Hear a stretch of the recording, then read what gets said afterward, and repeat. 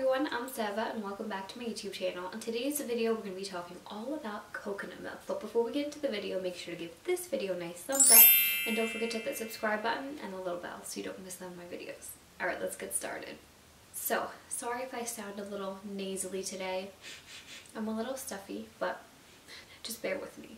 So we have a bunch of different topics to go over today talking about coconut milk. So, you know, like what is it, some benefits of it, some nutrition facts, all that kind of stuff. So first things first, what is coconut milk? Now, I know I've touched upon this a little bit when I make, you know, my certain Starbucks drinks where I'm using coconut milk, or when I talked about coconut water and like the difference between coconut milk, coconut water, the flesh of the coconut with the coconut meat, and all that kind of stuff. So in mature brown coconuts, there's kind of a white meat, if you will. It's called the flesh of the coconut, and that's where coconut milk is made from. The coconut milk is definitely thick, rich, and creamy compared to the coconut water. Of course, milk, water, it's not going to be the same texture, just like anything else. So the coconut water is in the not so mature coconuts, so like the younger coconuts that are green, not brown yet. So when you open up a green coconut, you will already find naturally there the coconut water, right? But that's not going to be the same as coconut milk. You're not going to open up a brown coconut and just open it up and there's coconut milk in there. It's a little bit different.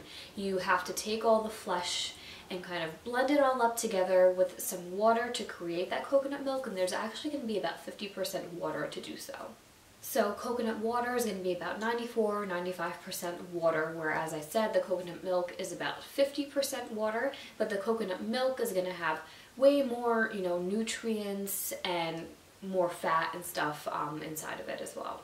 So how do you make coconut milk? Now I touched upon that a little bit before, but there are different kinds of coconut milk. There's ones with a thinner consistency, ones with thicker consistency. As you've seen in past videos, I've used coconut milk just like normal milk jug or something like that that has, you know, very watery coconut milk. Sometimes it's mixed with coconut water. And then you've seen me use coconut milk that's more in a can where if you don't mix it correctly, then, you know, the fat and liquid kind of separates in the can and it can literally like flop right out. That's happened to me before on camera. So it's definitely different ways to make coconut milk.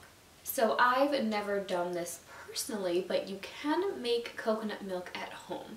So you can make the thin or the thicker consistency consistency if you don't want to go ahead and buy it in store if you just want to try something new.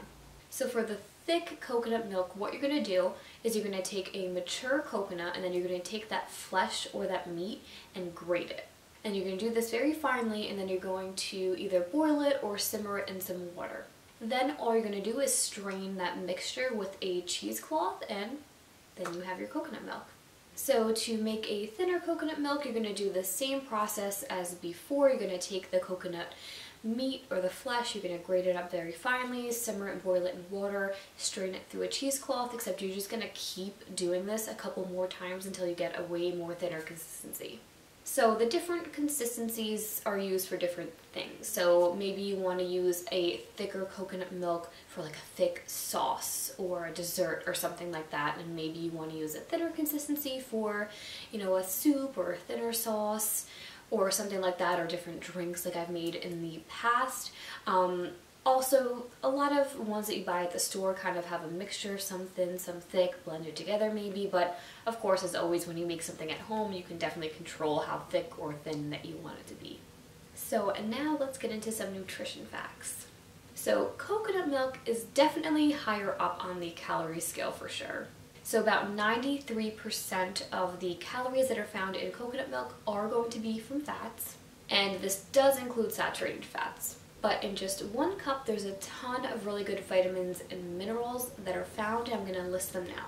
So there's going to be about 552 calories in one cup of coconut milk, 57 grams of fat, 5 grams of protein, 13 grams of carbs, 5 grams of fiber, 11% of your daily intake of vitamin C, 10% of your daily intake of folate, 22% of your daily intake of iron, 22% of your daily intake of magnesium, 18% of your daily intake of potassium, 32% of your daily intake of copper, that's a different one, 110% of your daily intake of manganese, and 21% of your daily intake of selenium. Now I will of course list all of these nutrition facts down below in the description box if you guys want to kind of do a refresher and look up anything after this video.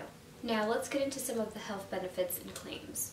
So coconut milk has a small amount of medium chain triglycerides, which is known to speed up your metabolism a little bit. So people are trying to see, you know, if drinking coconut milk has a relation to weight loss. But there are such low levels found in the coconut milk that it probably won't really do anything. There were studies that showed the cholesterol levels and triglyceride levels improved after drinking coconut milk. Tests done on animals showed that um, after drinking coconut milk, some inflammation was decreased. Ulcer sizes were decreased and they were able to fight off some viruses and bacteria that was causing infection.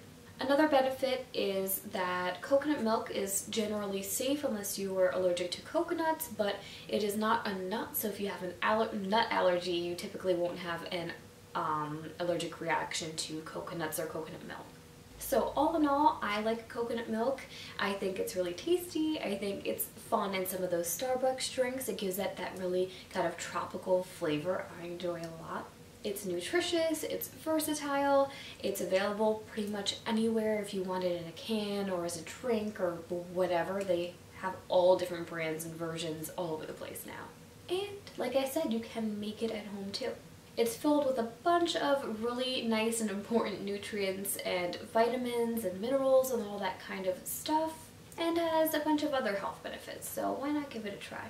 But that is all I have for this video today, you guys. I hope you liked it and I hope you learned something new. If you did like it, make sure to give this video a nice thumbs up. And don't forget to hit that subscribe button and the little bell so you don't miss out on my videos. And share, share, share this video would really help me a lot.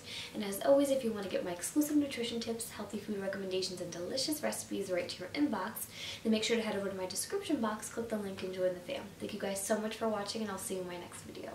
Bye, guys.